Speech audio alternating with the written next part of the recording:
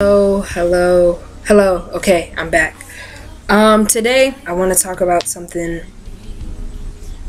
called leave. We can call it leave, we can call it go, we can call it either one. So I just read uh, Genesis chapter 12, verses 1 through 8. And if anybody is familiar with the story of Abraham, we understand that that is the section in the Bible where you could say Christianity begins. So, like I said, we got this story here, and the title in my Bible, have the NIV, it, its heading is The Call of Abram. I don't know about you, but a lot of things in this generation we have to believe by faith. Faith is the substance of things hoped for, the evidence of things not seen. And Hebrews 11 and 1, which I'm turning to it right now so y'all can hear not just the the uh, the version I just read aloud, but this is the NIV version. Remember, now faith is being sure of what we hope for and certain of what we do not see. Number two, this is what the ancestors were commended for. Okay, so let's go back to Abram. We're gonna read you the promise that God made to Abram. It says in um, Genesis 12 and 2 through 3 I will make you into a great nation, and I will bless you.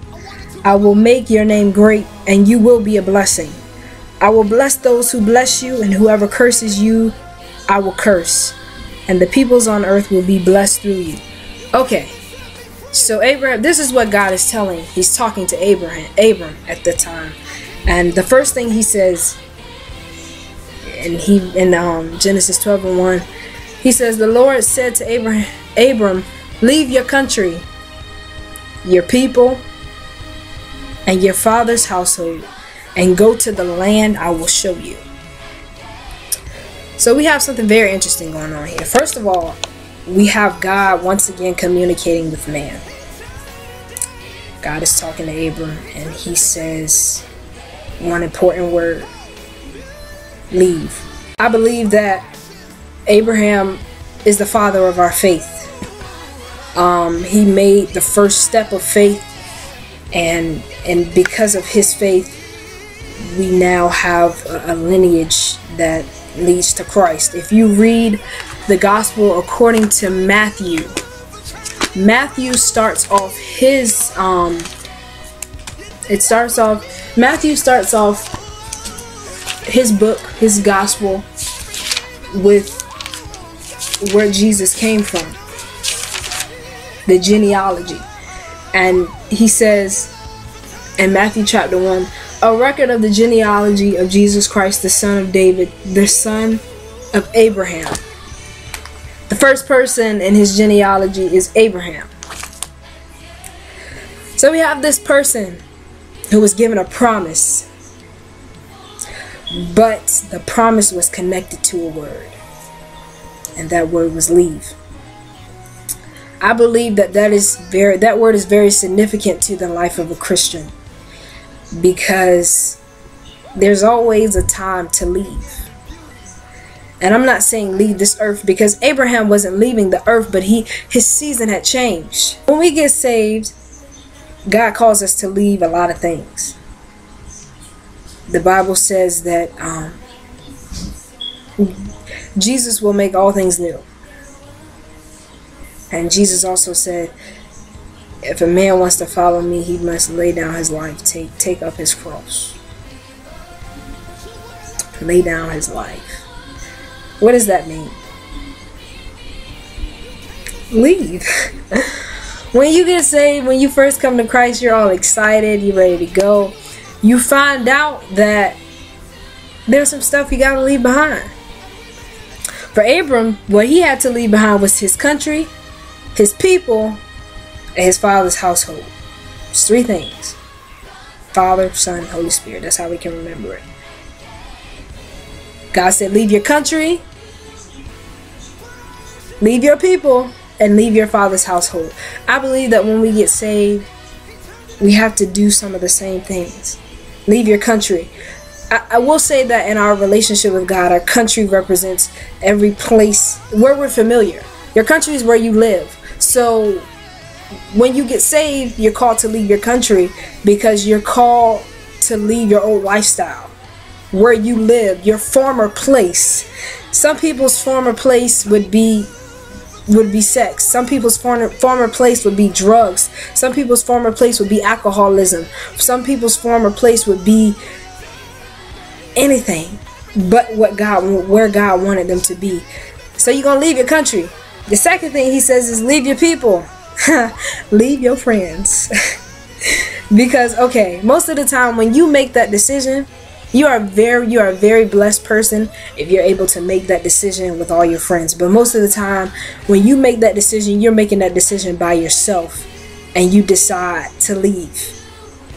So not only do you have to leave your country, which is where you are in life right now, that that place of sin, but you gotta leave your friends because more than likely the people that you hanging with, they from the same country you from. And if you in country again being that lifestyle, that lifestyle of sin, if you stay in that same, if you leave in that country, more than likely your friends ain't rolling with you, cause you're going somewhere that they can't even fathom. You can't even fathom yourself. You're taking a step of faith. They ain't going with you. So you gotta leave your lifestyle. You gotta leave your friends in your father's household. We'll just say that your father's household represents family. Now that's a touchy subject. But how many know that when how many know? I'm not preaching to y'all, I'm just this is not coming from me. This is from the word Abraham had to leave his father's household. How many, I'm about to say how many know again, but um, Jesus had to leave his family. Abraham had to leave his family. Fortunately, when you make a decision for God, family, Jesus said, in my own town, I'll be rejected. That means the people that know me, the people that I grew up around, my family, people gonna reject me. And unfortunately, it's the very people that I think should receive me. So we're gonna leave the old lifestyle. We're gonna leave the friends and we're gonna leave the family. Now, everybody don't gotta do that. Everybody don't gotta leave their family because some people they grew up, the whole family sanctified, Holy Ghost filled, and fire baptized. Everybody doesn't have that testimony. But there are a lot of people who especially at this age have to leave family behind. But let me tell you something glorious about the revelation of God. Because of your change, God will allow them to change as well. So today, I just want to encourage you that whatever God has told you to leave, leave. Because look at this beautiful, beautiful revelation. Abraham is in Genesis and God said, this is exactly what God says. God says, all the peoples on the earth will be blessed through you. If they, if Abraham if Abraham hadn't left, then where would Jesus be? The gospel according to Matthew starts off with Abraham. Abraham 14 generations, 14 generations, 14 generations, 14 generations. Jesus.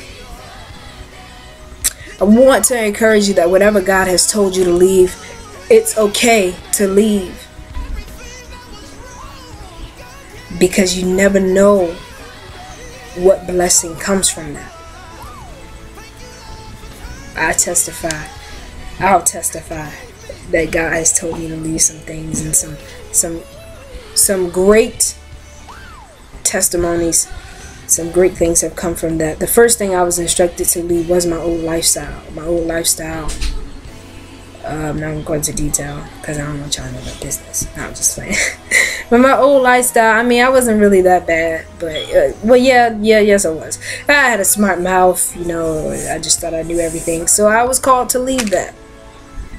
That has made me a better person because my attitude has shifted and now people are more welcome to come to me versus what they were before. Um, did I have to leave my country? Yeah, yeah. Leave friends? Yeah. But let me tell you something about God. For everything that you lose for Him, it's actually gain. because I lost some friends, but I also made a, a, a wonderful group of friends that are in Christ. And their friendships actually benefited me a lot more. Because yeah, I can call I could call some of my old friends and be like, yo, can I get five dollars? They'd be like, Yeah, I got you, you know you're my girl. But when I'm in the middle of a situation and a circumstance that I can't understand, when I got a friend that I can call on be like, Hey, bro, sis, I need you to pray. I'm going through, we need to pray, break it. That's the kind of friends you need. That's what's going to get you to heaven. So my encouragement to you today is whatever God has called you to leave, be bold and leave. Be Abraham was bold. And because of his boldness, man, we talk about him all the time. The Bible says that Faith is the substance of things hoped for, the evidence of things not seen. Our ancestors were commended for their faith. Abraham was commended. He still is commended to this day for his faith. So I encourage you that even if it doesn't look right right now, if you leave, God will bless you. God bless y'all. Have a great week.